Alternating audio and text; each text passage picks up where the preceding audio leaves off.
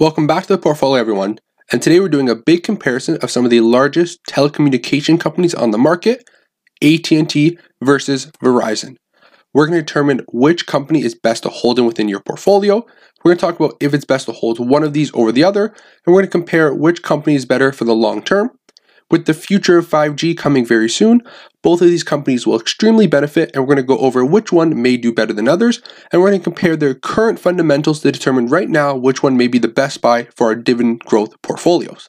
So, as always, everyone, I'm the Gen Z investor, and I make videos every single day that talk about different stocks you can buy for your portfolio, overall stock market performance, and any big news or headlines within the stock market. So, I make these daily videos, so I'm going to ask you to please like and subscribe, and we're going to get right into it. Very quick update on my portfolio. Current added value at $47,166. We saw a good day in the green today, up over $585, but overall portfolio is still down around 8.36%. Not too worried about it. Over the long term, the price will come back. I'm going to keep collecting my dividends, reinvesting, and watching it grow over the long term. So we're going to jump right into the comparison. So we're going to do a breakdown between AT&T and Verizon, talk about some of the key metrics with regard to each company, and just determine which one may be the best buy right now and which one may, might be the best for your portfolio over the long term. First, we're going to do a quick comparison on how the share price has performed over the past five years for each company. So AT&T currently trading just shy of $30 a share. On the one-year chart is down 11.56%. So of course, they were trading up higher, then the pandemic hit, we saw them drop all the way down to $26 and have not fully recovered back to those levels and are still trading around $30 per share. With regard to Verizon, on the past one year, they are only down around 4.79%. They have seen that March dip, but have what somewhat recovered and are trading just shy of their pre-pandemic level, but they are only down 5% on the one-year chart. If we compare the five-year charts, you can see Verizon's actually up 15%, so they have some modest share price appreciation over the past 5 years compared to AT&T who's actually still down close to 15% on the 5-year chart. Of course, share price is not everything. They do pay different dividends, so of course, we look at total return overall to compare the two. But if you're looking for a little bit of share price appreciation for your portfolio, Verizon has shown that they have actually outperformed AT&T in that regard over the past 5 years. Now we're going to take a look at this comparison. We're going to go metric by metric and determine which company actually beats the other. So of course, some metrics may people may value more than others, but this is a kind of a solid breakdown to show this quick comparison between these two companies. The first thing we're going to compare is the market cap. Of course, this does not really show how a company is performing right now, but it's a good thing just to start off with. So AT&T has a market cap around 212 billion compared to Verizon who has a market cap around 225 billion. So we jump over back to this comparison. Verizon actually does beat AT&T in this first battle. They do have the higher, higher market cap right now around by about $13 billion. But of course, this does change with regard to share price. So if AT&T has a better day than Verizon on the market, this market cap gap will like, you know, shutter and goes closer together. And of course, Verizon, if they have a better day than AT&T, this gap in market cap could grow. But of course, the smart cap does not mean too much. Why I started off with it to show you that these companies are of somewhat equal size. One company is not dramatically larger than the other, and one is not a tiny company versus a large. They are very large companies, so it's better to compare these two massive companies together. The next one we're going to take a look at right here, if I move down this block, is total revenue. So of course, these companies operate in the same sector, they have a similar market cap, so thought we'd compare total revenue. So if we jump over to the income statement for AT&T, you can see here total revenue is around $179 billion in the past 12 months, compared to Verizon, who's generated around 131 billion over the last 12 months. So with regard to revenue, AT&T wins this battle. They have more revenue in the past 12 months, even though right now they have a smaller market cap than Verizon. The next thing we're going to take a look at is net income. So even though they are both generating huge amounts of revenue, how much net income are they actually providing for shareholders into the company? So if we take a look in AT&T's past 12 months, they've generated around $14.4 billion of net income compared to Verizon who has brought in $18.4 billion net income. So if we look at this comparison, we can see that even though AT&T brought in more revenue, Verizon actually earned greater profits in the past 12 months. And what that shows is that Verizon actually has a higher payer rate, profit margin, which is what the next comparison is. So profit margin is the amount of profit divided by total revenue. So you can see here that Verizon actually has a 14% profit margin compared to AT&T's 8%. So of course the higher profit margin wins and Verizon wins that battle. The next battle we want to do compare these companies is the payout price to earnings ratio. So this PE ratio is a forward PE ratio. And if you purchase AT&T right now, you're buying a forward PE of $9.33. So for every $1 of company earnings, you are paying $9.33 the price to earnings ratio. And with regard for Verizon, you can see here a PE ratio in the forward of around 11.46.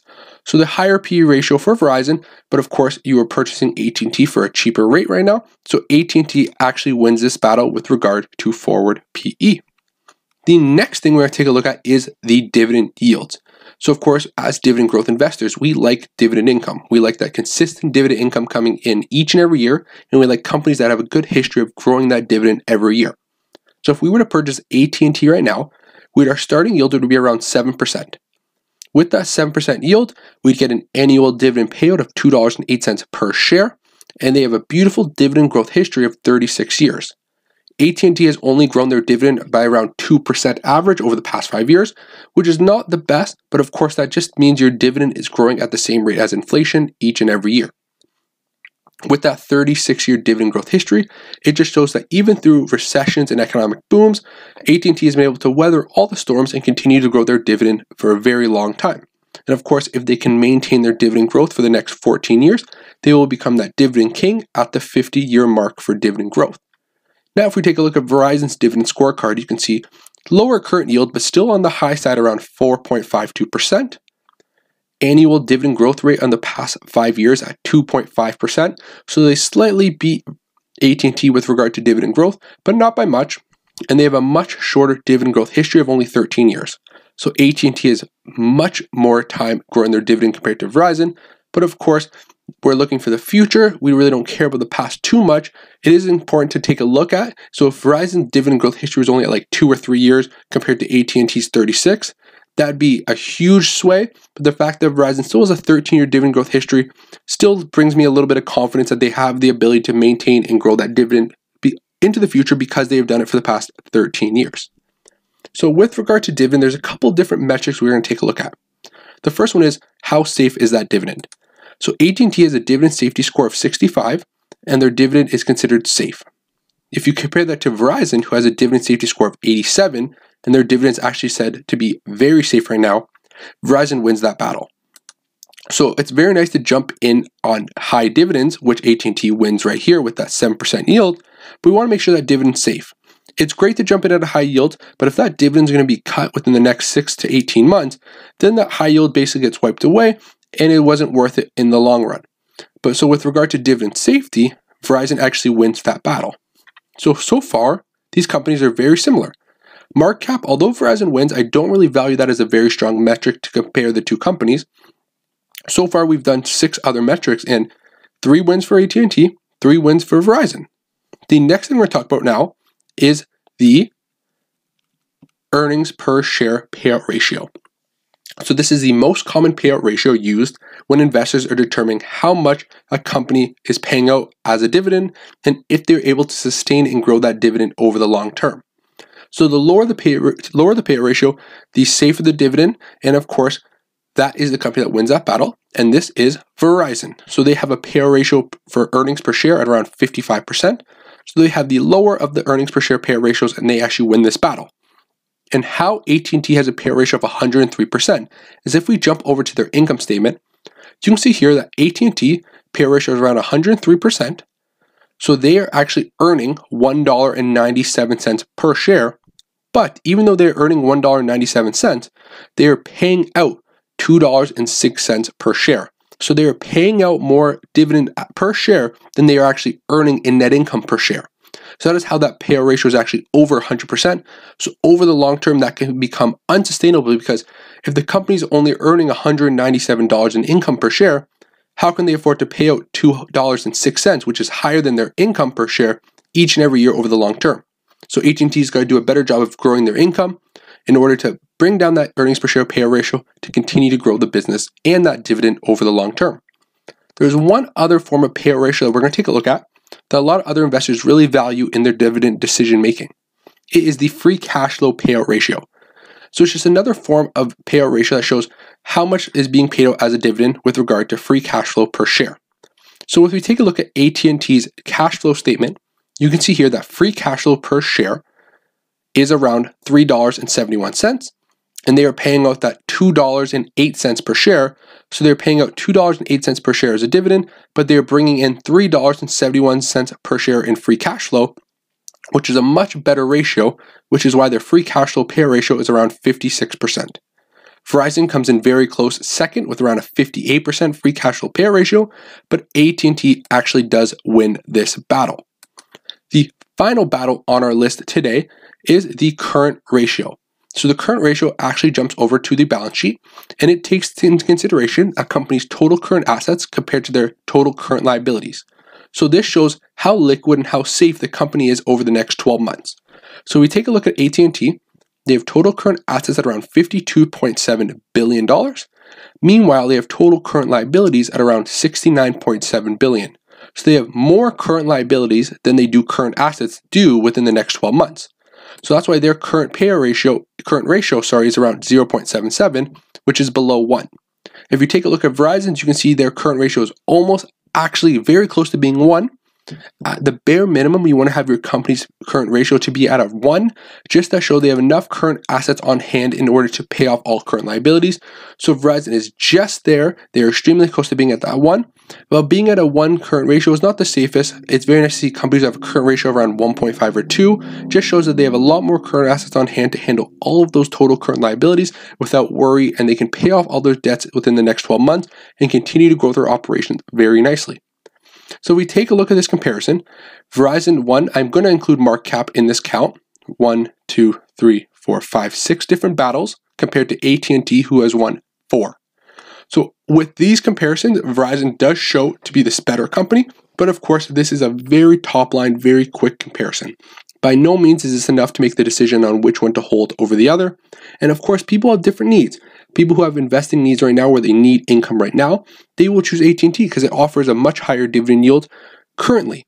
Over the long term, and with regard to 5G, I believe both these companies are going to flourish and see greater revenues and nice net income growth because of 5G. So, of course, that is going to play into this effect, and that's really going to affect how these numbers are. If you like companies who are revenue machines and you want to go with AT&T, of course, they are generating higher revenues. If you like companies, personally, I like companies with higher profit margins, and Verizon, of course, shows that with a 14% profit margin compared to AT&T's 8%. But overall, these are both solid companies, and with the new trading platforms out there that allow free share purchases, fractional shares, it might honestly be worth it to hold both AT&T and Verizon within your portfolio so you get the best of both worlds. You're a little bit diversity diversified between two different companies. So if one company is a bad headline, it doesn't and the stock goes down, your whole telecommunications part of your portfolio does not go down because you're holding both. And they actually both generate revenue. Of course, they operate within the same sector, but they both have different streams of generating revenue from different force sources. So, of course, it may be beneficial to actually hold both within your dividend portfolio. So that was my comparison of AT&T and Verizon. Of course, do all your own research before you make a decision on which company you want to buy. But of course, in the long run, both these companies are going to survive, continue to do well, and can collect those nice dividends. Of course, we will have to see what happens over the long term to do a comparison. And maybe in a year from now, I will do a recap video to see what's changed between these two companies. But I do appreciate you tuning in. Please like and subscribe, and I will see you in tomorrow's video.